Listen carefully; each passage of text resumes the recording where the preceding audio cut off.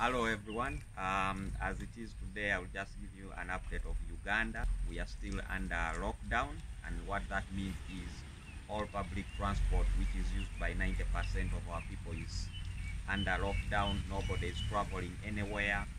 Uh, motorbikes like these are not allowed to carry any people. And what that means for the parents and children that we serve is they are grounded in their homes. They cannot go to work because even most of the workplaces where they work are closed.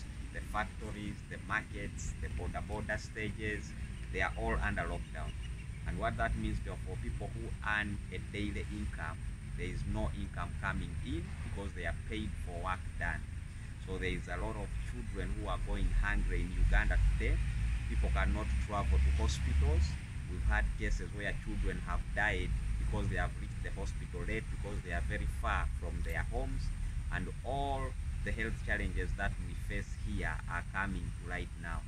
So what we are doing at the moment is we are thankful to the government for allowing us to use our medical van to provide the much needed medical care for our children.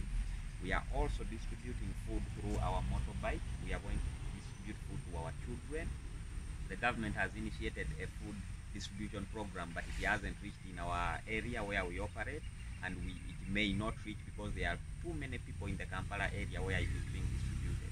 So we are in the process of ensuring that children get food because even these motorbikes have been restricted to move between 7 and 2 p.m.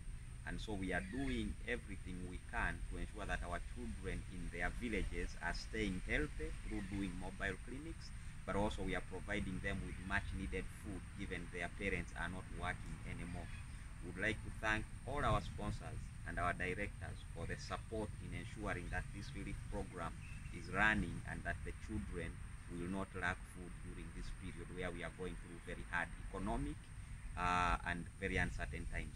We'd like to thank our sponsors who have made this possible. Your support is doing so much to bring hope and to demonstrate the love of Christ to the children. May God bless you abundantly.